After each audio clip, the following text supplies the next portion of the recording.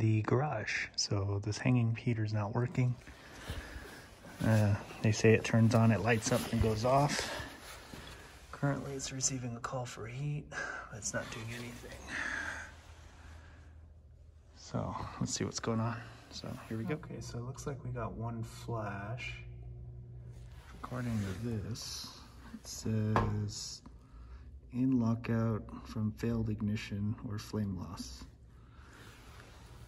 Alrighty, so it's in a lockout right now.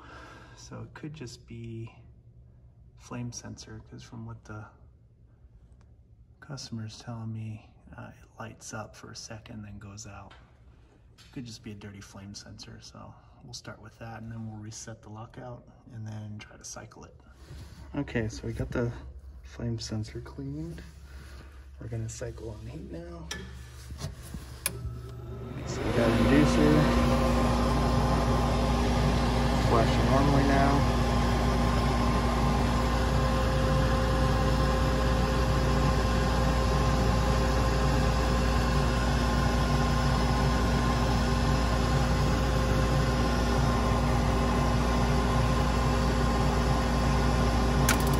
And we got igniter.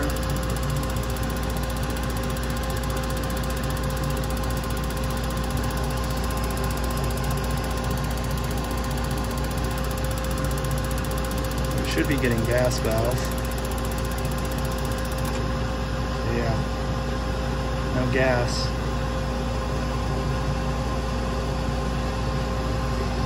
So it looks like there's an issue with the gas valve, so let's see if it's energizing the gas valve. Okay, so I'm testing the gas valve. We are getting voltage to the gas valve.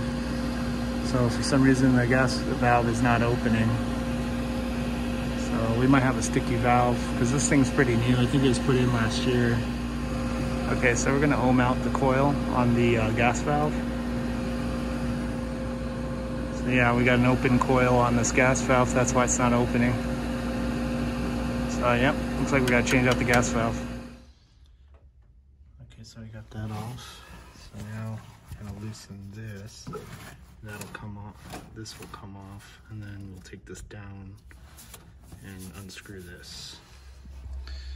Okay, so we got her in place, plugged back in, gas is free connected. So we're gonna turn on the gas, turn on the power and cycle it and see what happens.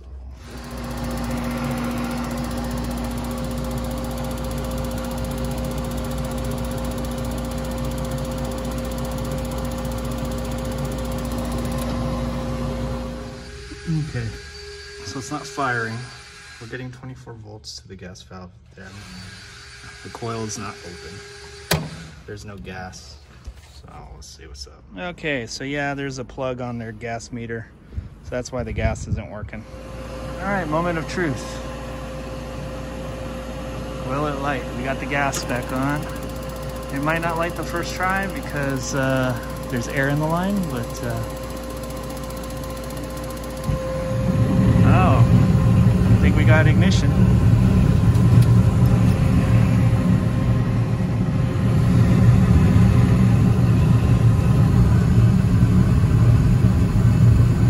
Oh yeah, we got ignition. Sweet.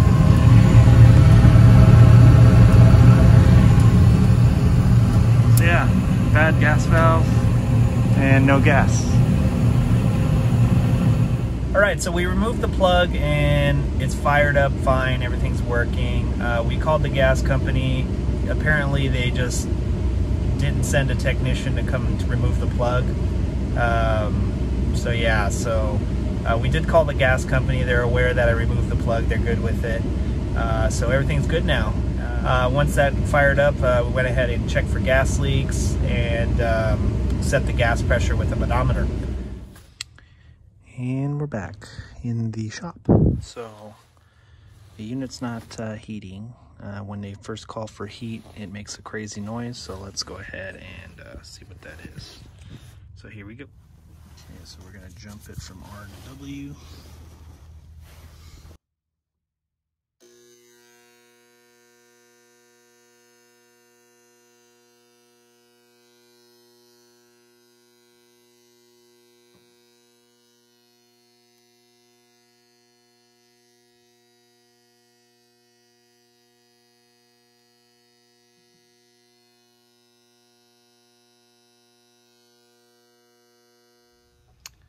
Yeah, so that motor's done. So we're gonna go ahead and replace that motor, so. Okay, so we're gonna check the run cap for the inducer. So it looks like it's supposed to be a seven and a half.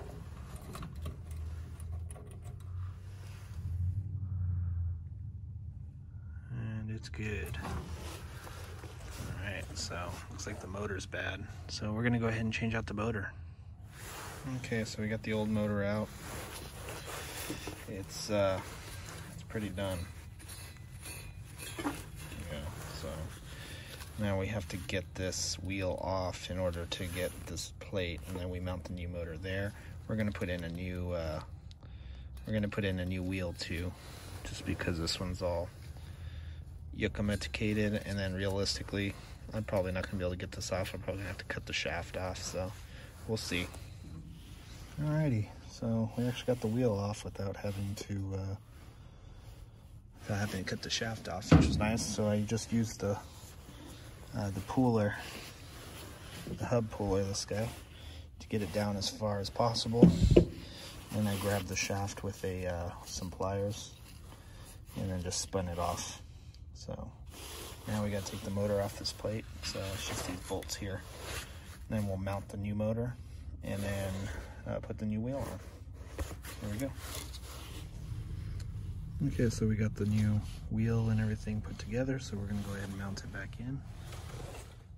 Okay, so we got everything wired up, all hooked up, it's installed. We're gonna go ahead and cycle it now. I was doing this live because there's no service disconnect, it's hardwired in, and there's no breaker. So yeah, always shut the power off. Um, but yeah, it was just I would just was very careful. But anyway, we're gonna go ahead and jump out uh, R to W and see what happens. Okay, we got inducer. Pressure switch should be closing. Then we'll get the igniter and then gas valve.